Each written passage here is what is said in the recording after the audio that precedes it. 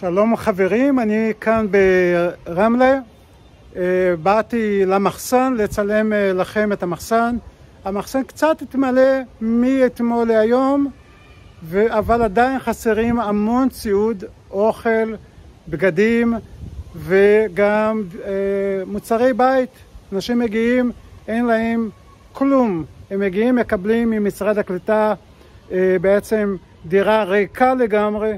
והם צריכים להסתדר עם זה. לכן אני קורא לכם, קורא לכולכם, כל מי שרואה את ההודעה הזאת, תבואו ותתרמו. הקישור למיקום יהיה פה ב... אה, ב description של הוידאו, אז בואו תתרמו, הנה פה זה המרכז אה, שנמצא ממש מלפניי, אני מסובב פה, תכף אני אסובב גם את המצלמה הנה זה המרכז לתרומות.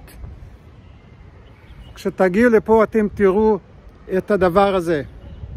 זה מה שאתם תראו, היה פה שלט והיה פה בקיר, אבל העבירו את זה לפה, ציוד, איסוף ציוד הומניטרי לעולים מאוקראינה. והנה המחסן, עדיין יש הרבה מה להביא לפה. אני מאוד מבקש שנצטרף לעזרה הדדית. זה אנשים שבאו מאזור מוכה מלחמה.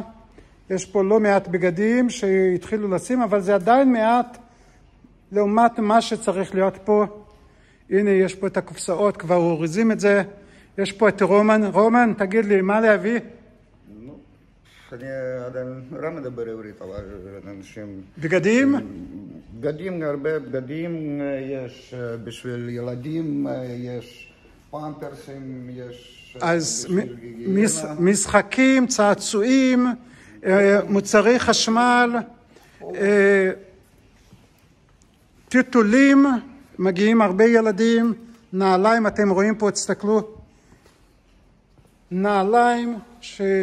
יביאו גם נעליים, מזרנים, הכל הם מגיעים, מקבלים דירה ריקה, צריכים למלא את הדירה ותביאו דברים חבר'ה, בואו נשקיע, אנשים צריכים אותנו, זה הזמן. טוב, לא רק רומן פה, יכול להיות שקטי תהיה פה, כן, קטיה, והיא תקבל גם דברים. היא עכשיו נחה קצת, כן? המקבלת עולים, קטיה כן. מקבלת עולים ברגע הזה, זאת אומרת יבואו עוד אנשים, אז הנה אנחנו זקוקים לעזרה שלכם. תבואו, תתרמו, תברכו את היהודים שמגיעים מאוקראינה. כל הזמן יש פה בחורות. אז יש פה בנות גם שעוזרות לסדר את הדברים, אני הכרתי שתיים כאלה שבאו לסדר, אז בואו תתרמו, אה, עם ישראל צריך לעמוד יחד עם העולים בתקופה הזאת.